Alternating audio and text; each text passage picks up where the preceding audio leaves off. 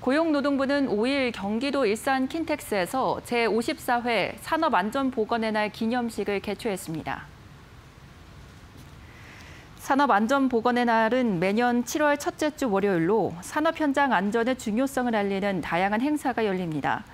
이번 기념식에서 안경덕 노동부 장관은 이재근 남해화학 공장장을 포함한 산재 예방 유공자 20명에게 정부 포상을 수여했습니다. 안경덕 고용노동부 장관은 7월 1일 산업안전보건본부 출범을 계기로 안전보건의 컨트롤 타워로서 산재 사망 사고를 줄이고 안전한 일터를 만드는 데 더욱 총력을 다하겠다고 밝혔습니다.